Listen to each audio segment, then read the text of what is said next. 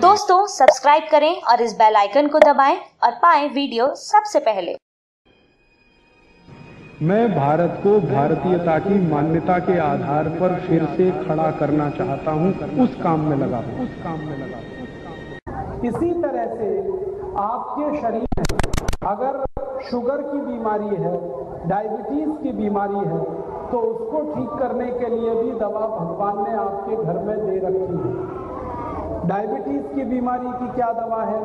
थोड़ा आप मेथी दाना लीजिए, उसको पीसकर पाउडर बनाइए। मेथी दाने के साथ थोड़ा करेला, करेले को धूप में सुखाकर उसका पाउडर बनाइए। फिर आपके घर में जामुन की गुठली अगर मिले तो जामुन की गुठली को पीसकर उसका पाउडर बना लीजिए। और जामुन की गुठली घर में ना मिले जामुन की पाउडर, करेले का पाउडर मेथी दाने का पाउडर। फिर नीम के पेड़ पर एक निम्बी आती है।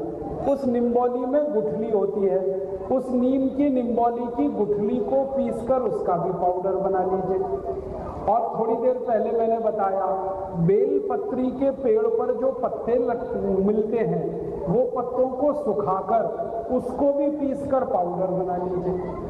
तो बेल पत्री के पत्ते के पीसकर पाउडर बना लिया। फिर हमने मेथी दाने को पीसकर पाउडर बना लिया। फिर हमने जामुन की गुठली को पीसकर पाउडर बना लिया। फिर नीम की, निम्बोली की गुठली को पीसकर पाउडर बना लिया। फिर करेले को पीसकर उसका पाउडर बना लिया। अब ये पाँच दवाएँ हैं। इसमें और एक दवा मिला लीजिए, उसको कहते हैं गुड़मार गुड़मार एक दवा है जो घास के रूप में उपलब्ध है और बाज़ार में किराने की दुकान पे मिल जाती है। तो गुड़मार पीस लिया और बाकी ये पाँच दवाएँ पीस ली। इनको लगभग बराबर मात्रा में मिलाकर एक शीशी में भरकर रखी ये डायबिटीज़ की बहुत अच्छी दवा है। अब इस दवा को खाइए। एक चम्मच गर्म पानी के साथ सुबह और एक चम्मच शाम को। साथ एक चम्मच दवा सुबह और एक चम्मच शाम को। और नियमित रूप से अगर आपने ये दवा लेना शुरू किया, खाने से लगभग एक घंटे पहले तो ये दवा से आपकी शुगर, आपकी डायबिटीज़ हमेशा के लिए ठीक हो जाएगी।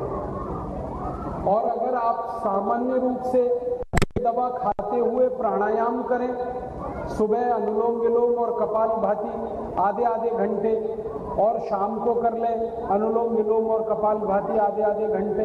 तो आपकी शुगर और जल्दी ठीक हो जाए। और मेरा निवेदन है कि जब आप ठीक हो जाए, सामान्य हो जाए, तब आप ये दवा बंद कर दीजिएगा, प्राणायाम चालू रखिएगा।